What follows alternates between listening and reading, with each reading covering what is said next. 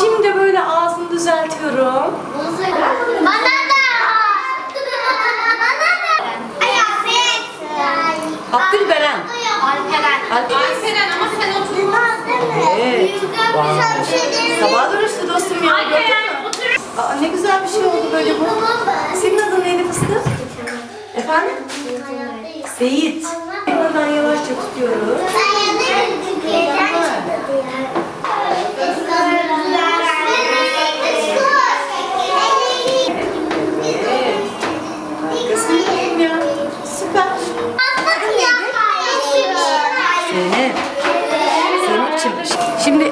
Daha ıslat çiçeğim.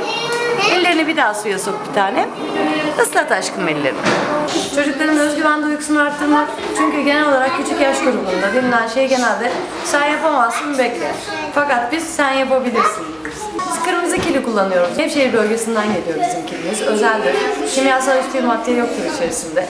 Ee, çömlek çarkında çalışma yapıyoruz çocuklarla. Çömlek ornamatını istiyoruz biz bunlar. Ee, yani resimden farklı olarak çocuklar burada çömlek sanatını çarkla çalışırken üç boyutlu bir şekilde yaşarlar. Üç boyutlu bir şekilde yaşadığı zaman da daha iyi kullanır zihnini.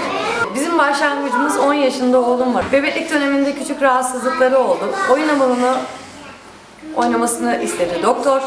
Fakat oyun hamurunda kimyasal olduğundan dolayı biz kille çalışmaya yapmaya başladık. Aslında beni bu sanatla tanıştıran oğlumdur. Çocuklar şu an sıfır mikropla yaşadıklarından dolayı ufacık bir hastalıkla karşı karşıya geldiklerinde hasta oluyorlar. Ama e, biraz kile dokunsunlar, kirlensinler. Yani özellikle diyorum tertemiz bir nesil yetişiyor, yetişiyor. Bu kadar temiz olmayalım. Biraz da toprakta dokunsunlar, kirlensinler. Nihayetinde çocuklarımız büyüme evresinde. Yani onların gelişimi açısından kesinlikle kirlenmeleri gerekiyor. Çocukların yani değişik markalarda pahalı oyuncaklar almak yerine kille istediğini yapabilsin. Araba yapsın, dinozor yapsın, hayal güçleri gelişsin. Yani pahalı oyuncaklar yerine kendi yaratıcılığını kullansın. Özgür olsun. Bu tür etkinliklere biz çok önem veriyoruz. Çocukların yaratıcılıklarını hem etkiliyor hem özgüvenlerini de etkiliyor. Çocuklar için etkili bir e, sanat çalışma, çalışma oluyor.